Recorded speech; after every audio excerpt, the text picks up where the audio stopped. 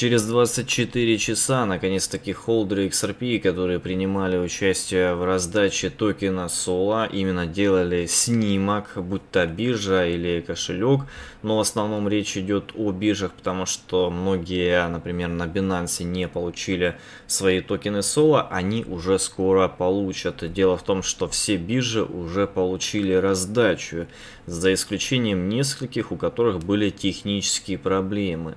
После получения токенов Соло биржи анонсируют раздачу, поэтому вам следует набраться терпения. Речь идет о бирже Binance. Если мы с вами говорим про Ripple, то глава Ripple все-таки сравнил SEC с захватом власти, то, что она делает, и дал довольно-таки объемное интервью, о котором, кстати, мы сегодня тоже поговорим. Кстати, Xtig объявил создание экосистемы на э, Ripple XRP Ledger. Ну и, кстати, помните вообще из-за чего в последнее время падал биткоин? Якобы привязывали, конечно же, запрет а, криптовалют, биткоина, майнинга в России. Так вот, все это отменяется, потому что Путин уже поддержал идею о легализации и налогообложении майнинга. И, соответственно, здесь уже заявлено, что большинство ведомств выступают против радикальных мер, касается запрета. И он считает, что майнинг мог бы стать перспективным направлением и приносить доходы в бюджеты регионов уже сейчас. Поэтому запрещать ничего никто не будет. И все это здраво, как и ожидалось мною, будет покрываться данью. В итоге мы с вами имеем выкуп биткоина около 35 тысяч долларов. Также стоит отметить, что на месячном таймфрейме биткоин смотрится довольно-таки отлично. Это говорит о том, что у нас есть карт-бланш на рост и продолжение данного цикла в целом. И, соответственно, я считаю, что это определенно позитив. Если мы говорим про XRP, то, например, к биткоину XRP уже у нас лежит довольно-таки длительное время и сильно не растет. Хочу напомнить, что около 900 дней э, XRP довольно-таки вяло себя показывает и не растет. То есть потенциал роста XRP, он измеряется тем, что он может вырасти до 10 э, иксов дать вам. Если мы говорим за 10 иксов, то, а, соответственно, сейчас цена XRP у нас к доллару США стоит 60 а, центов, да, и, естественно, 60 мы умножаем на 10, получаем 6 долларов за XRP. Поэтому здесь довольно-таки интересно и знатно получается то, что XRP к биткоину может вырасти в 10 раз, ну, естественно, он вырастет 10 раз к доллару США. Тут следует, конечно же, обратить на это внимание, потому что действительно XRP к биткоину валяется очень довольно-таки длительное время. Если мы посмотрим на график, который был у нас в 2017 году, то вот XRP тоже валялся длительное время здесь. И причем накопление было довольно-таки тоже длительное время, но хотя здесь накопление было а, около 600 дней. Соответственно, здесь можно предположить, что в данном случае у нас накопление будет дольше, да, но тем не менее, в принципе, то, что сам XRP уже к биткоину довольно-таки долго лежит и вполне может выстрелить, и все это будет основано на новостях а, SEC и соответственно, улучшение а, токена XRP как такового, потому что еще а, компания Ripple может выйти на IPO. То есть в рукаве Ripple есть много козырей, почему XRP может вырасти.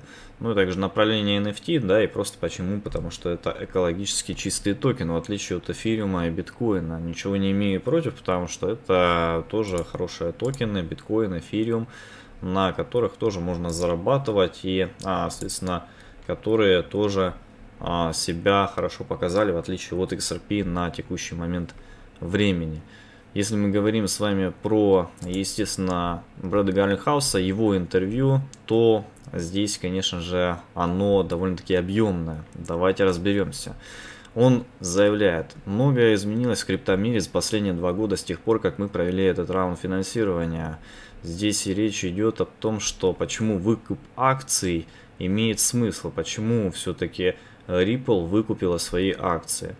Общая стоимость активов выросла примерно с 200 миллиардов долларов в 8 раз по сравнению с сегодняшним. Бизнес Ripple существенно вырос. Таким образом, несмотря на эти сумасшедшие препятствия SEC и, честно говоря, потерю некоторых клиентов из-за судебного процесса SEC, мы очень быстро росли. И мы чувствуем, что начинаем 2022 год с большой силой.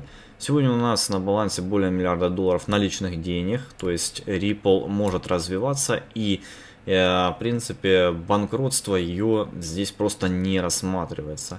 Также мы очень взволнованы тем, куда идут дела. У нас была возможность выкупить акции по цене 15 миллиардов долларов. Мы подумали, что это хорошее использование капитала для всех акционеров. И здесь, конечно же, а, стоит отметить, какие все-таки глава Ripple видит регуляторные проблемы. Если вы отступите на 100 тысяч фунтов, регуляторный климат во всем мире на самом деле изменился чрезвычайно положительно за последние 5 лет. Вы видите, что линия тренда для большинства основных рынков признает, что цифровые активы могут и будут играть роль в будущей финансовой системе, и что это пойдет на пользу потребителям, на благо бизнеса и даже на пользу правительств. Если вы посмотрите на это на очень высоком уровне, такие как страны Великобритания, Швейцария, Япония, Сингапур представили очень конструктивные рамки. Да, есть регуляторный надзор, но они на самом деле поощряют это новшество. Ну и хочу, конечно же, ставить свои 5 копеек, то что Россия, она тоже сейчас по пути регулирования. То есть э, не запрета, а именно нормальное регулирование с обложкой данью майнеров, трейдеров и всех тех, кто связан с криптовалютами. И здесь Бренгальхаус думает, что это безусловно разочаровывает, разочаровывает американскую компанию в том, что мы оказались там, где мы есть. SEC продолжает, на мой взгляд, тянуть время, это просто похоже на определенное лицемерие, поскольку SEC продолжает отмечать, что задержка правосудия означает отказ от правосудия. То есть, но они все время ищут задержки. То, что ищет Ripple, это ясность и равные условия игры. Правительство США и регулирующие органы правительства США не должны выбирать победителей и проигравших. Но и здесь э, стоит отметить, что SEC искажает факты. SEC объявила войну Ripple, мы воинственные, я не знаю, мы пытаемся защитить себя. Если вы читаете их первоначальный иск, там есть всевозможные утверждения, которые на самом деле не основаны на фактах.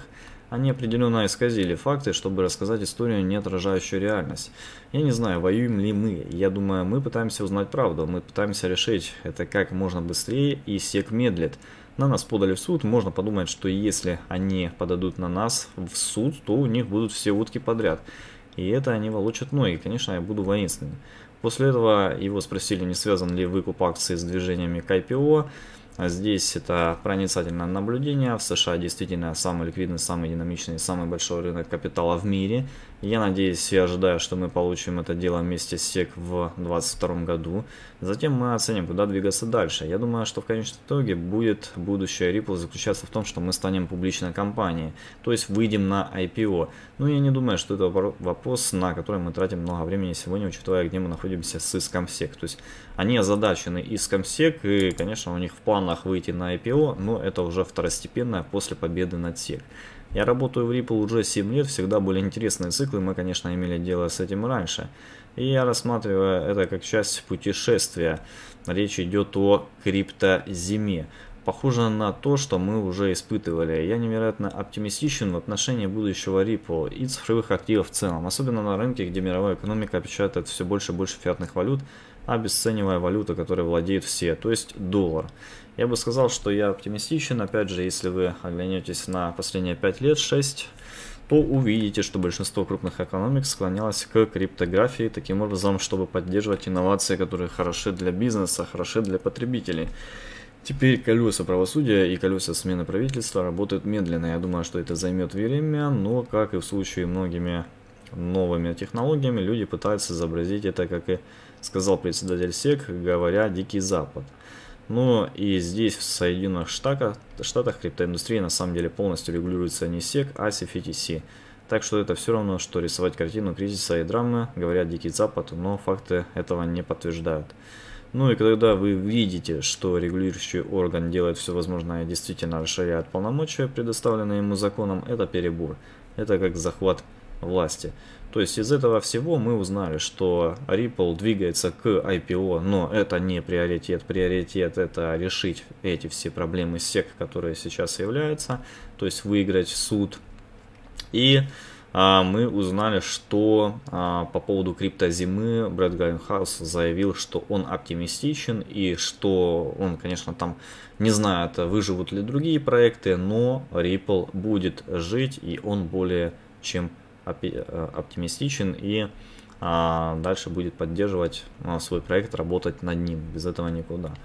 Ну, поэтому здесь мы сейчас можем сделать выводы, что действительно, несмотря на падение, несмотря на то, что биткоин упал на 50%, э, несмотря на то, что другие альткоины тоже скорректировались, некоторые на 80%, а, стоит отметить, что Действительно, для полной коррекции, для полной картины, а, для так называемой криптозимы и окончания цикла, то есть альткоины, по идее, должны корректироваться на 95%, но при этом на 85% должен и корректироваться биткоин, а он всего-то упал на 50%. Если мы говорим про, опять-таки, цикличность, то биткоин по логике должен упасть где-то на 10 тысяч долларов.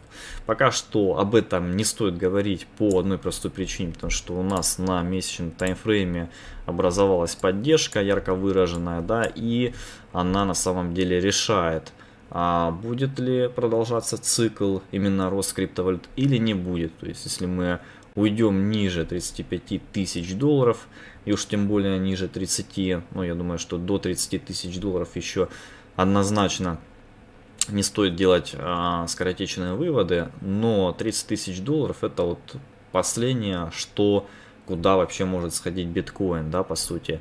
Но это и коррекция довольно-таки хорошая, это 57%, да. А, но зачастую, когда биткоин растет, то, как и в 2017 году это было, он делает там коррекции в размере 50%. Поэтому сейчас пока что мы наблюдаем, пока что мы смотрим, как дальше будет себя вести биткоин. То, что альткоины сейчас падают и то, что в принципе трейды на спотовом рынке невозможно, потому что рынок уже а, третий месяц падает, да, а, стоит отметить, что да, действительно рынок не интересен. Но тем не менее, в принципе, не стоит, конечно же, терять а, оптимистичности. Стоит, конечно, как я ранее говорил, а, готовиться к худшему и верить в лучшее. Поэтому, как ни крути, я думаю, что рынок будет расти, только нужно время. Всем удачи, всем пока и до новых встреч.